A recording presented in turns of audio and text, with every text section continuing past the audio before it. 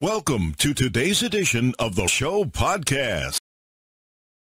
American singer songwriter Taylor Swift surprised her fans on Wednesday by dropping a brand new single titled Mr. Perfectly Fine from the vault from her upcoming album Fearless Taylor's version. The upbeat track, that features both country and pop influences, has Swift singing about a former lover who moved on with a new girl and has no qualms about his prior relationship. On Twitter, Swift had revealed that the song was originally written for her 2008 album Fearless, but it did not make the final cut. During the opening of Mr. Perfectly Fine, Swift sings Mr. Perfect Face. Mr. Here to stay. Mr. Look me in the eye and told me you would never go away. The chorus then takes a turn after discovering the would be perfect man is not all that perfect. The lyrics continue Hello, Mr. Perfectly fine. How's your heart after breaking mine? Mister. Always at the right place at the right time, baby. Hello, mister. Casually cruel. Mister.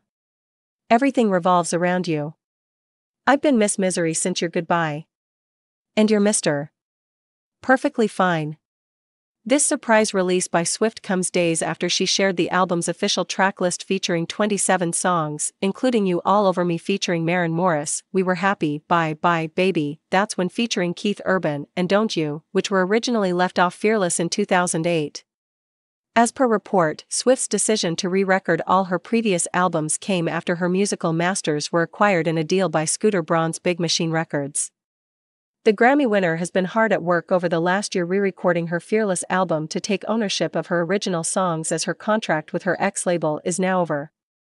In November 2020, Swift was legally allowed to re record her first five albums, which music producer Braun gained ownership of last year following his 330 million US dollars deal with Big Machine Label Group. Swift previously spoke out after Braun sold her masters to a company called Shamrock Holdings for 300 million US dollars. Fearless won four Grammys when it was released and features tracks such as You Belong With Me, Hey Stephen, and 15. The re recorded version of the album is set to release on Friday.